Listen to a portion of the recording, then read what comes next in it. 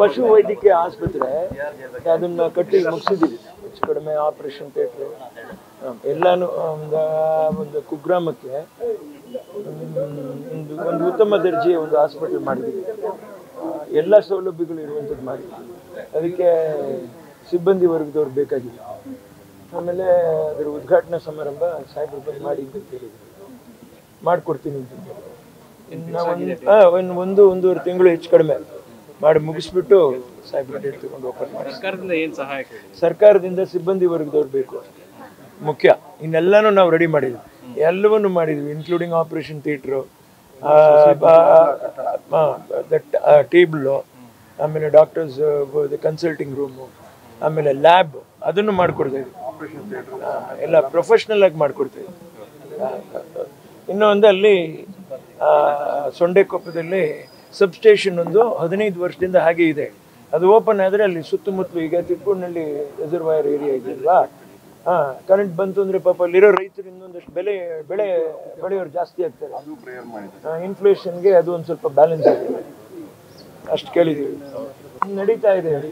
ಸ್ವಲ್ಪ ಸಿಬ್ಬಂದಿಗಳು ಬೇಕು ಮಾಡ್ತೀನಿ ಅಂತ ಹೇಳಿದ್ರೆ ಅದಕ್ಕೆ ಫ್ರಿಡ್ಜು ವಾಷಿಂಗ್ ಮೆಷಿನು ಇದಕ್ಕೂ ಫ್ರಿಡ್ಜು ನಾನು ಕೊಟ್ಟು ನಾನೇ ನನ್ನ ತಾಯಿಯವ್ರಿಗೆ ಕಷ್ಟದಲ್ಲೇ ನಾವು ಮಾಡಿದ್ದೀವಿ. ಖಂಡಿತ ನನಗೆ ಸರ್ಕಾರದಿಂದ ಬೇಕಾಗಿರೋದು ಸಿಬ್ಬಂದಿ ವರ್ಗ ಅಷ್ಟು ಕೊಟ್ರೆ ಮಿಕ್ಕಿದ್ ನಾವು ಮಾಡ್ತೀವಿ. ಎನ್ ಜಿ ಒ ಥರ ನಮ್ಮ ಕೈಲಿ ಏನಾಗುತ್ತೆ ನಾವು ಮಾಡೇ ಮಾಡ್ತೀವಿ.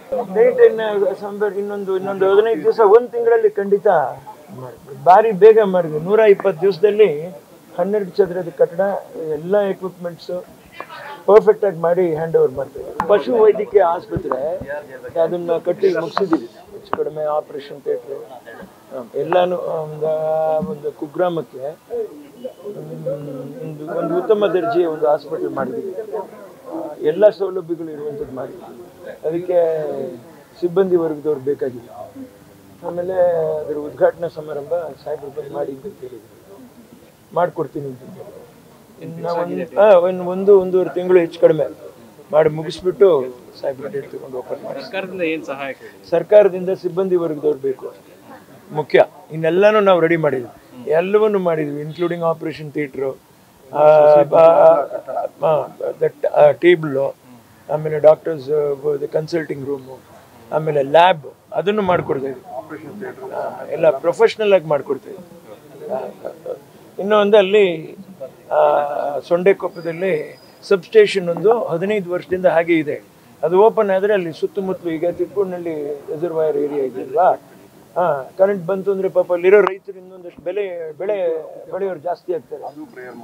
ಇನ್ಫ್ಲೇಷನ್ಗೆ ಅದು ಒಂದು ಸ್ವಲ್ಪ ಬ್ಯಾಲೆನ್ಸ್ ಆಗಿದೆ. ಅಷ್ಟು ಕೇಳಿದ್ದೀವಿ. ನಡೀತಾ ಇದೆ. ಸ್ವಲ್ಪ ಸಿಬ್ಬಂದಿಗಳು ಬೇಕು, ಅದಕ್ಕೆ ಮಾಡ್ತೀನಿ ಅಂತ ಹೇಳಿದ್ರೆ ಅದಕ್ಕೆ ಫ್ರಿಡ್ಜು ವಾಷಿಂಗ್ ಮೆಷಿನು ಇದಕ್ಕೂ ಫ್ರಿಡ್ಜು ನಾನು ಕೊಟ್ಟು ನಾನೇ ನನ್ನ ತಾಯಿಯವ್ರಿಗೆ ಕಷ್ಟದಲ್ಲೇ ನಾವು ಮಾಡಿದ್ದೀವಿ. ಖಂಡಿತ ನನಗೆ ಸರ್ಕಾರದಿಂದ ಬೇಕಾಗಿರೋದು ಸಿಬ್ಬಂದಿಗಳು. ಅಷ್ಟು ಕೊಟ್ರೆ ಮಿಕ್ಕಿದ್ ನಾವು ಮಾಡ್ತೀವಿ. ಎನ್ ಜಿ ಒ ಥರ ನಮ್ಮ ಕೈಲಿ ಏನಾಗುತ್ತೆ ನಾವು ಮಾಡೇ ಮಾಡ್ತೀವಿ. ಡೇಟ್ ಸಂಬರ್ ಇನ್ನೊಂದು ಇನ್ನೊಂದು ಹದಿನೈದು ದಿವಸ, ಒಂದು ತಿಂಗಳಲ್ಲಿ ಖಂಡಿತ ಭಾರಿ ಬೇಗ ಮಾಡಿದ್ವಿ. ನೂರ ಇಪ್ಪತ್ತು ದಿವಸದಲ್ಲಿ ಹನ್ನೆರಡು ಚದರದ ಕಟ್ಟಡ, ಎಲ್ಲ ಎಕ್ವಿಪ್ಮೆಂಟ್ಸು ಪರ್ಫೆಕ್ಟ್ ಆಗಿ ಮಾಡಿ ಹ್ಯಾಂಡ್ ಓವರ್ ಮಾಡ್ತೀವಿ.